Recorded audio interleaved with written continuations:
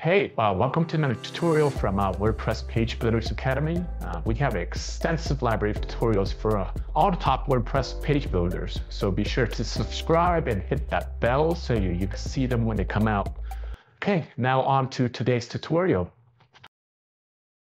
Today, we're diving into how to overlay the menu on top of the Hero section, inspired by the seamless design of the Tesla website. Their header effortlessly melds with the background image, maintaining transparency while providing essential navigation. Our aim? To replicate this sleek design, ensuring our transparent header enhances both aesthetics and functionality. Let's get started. First, navigate to Bricks and click on Templates.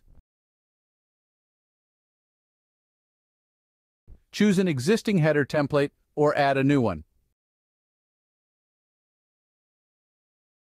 If you're using an existing template, click Edit with Bricks.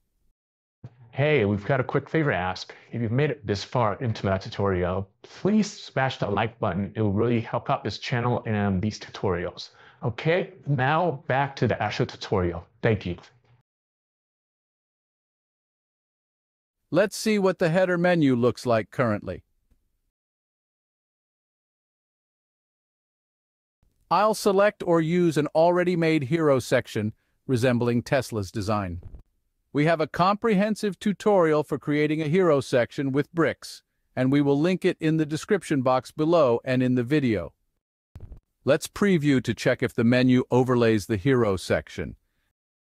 As you can see, the header currently has a white background which disappears upon scrolling. Our task is to remove this white background allowing the header to overlay the Hero section. Let's start by adjusting the header settings. Go to Settings and click on the Template settings.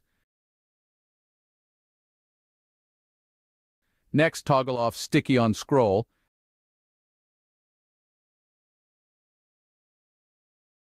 and set a white color for scrolling on background. This ensures that upon scrolling, the white background will appear in the header. Click Save to apply the changes. Now let's review the modified header menu.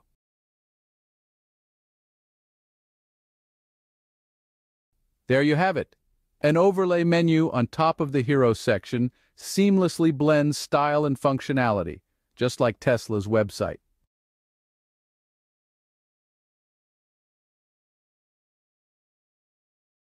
Okay, that's pretty much it for this tutorial. Uh, if you liked the video, be sure to give it a thumbs up. And uh, these videos take a lot of time, so if you do appreciate the content, uh, be sure to subscribe and hit that bell so we can reach more people.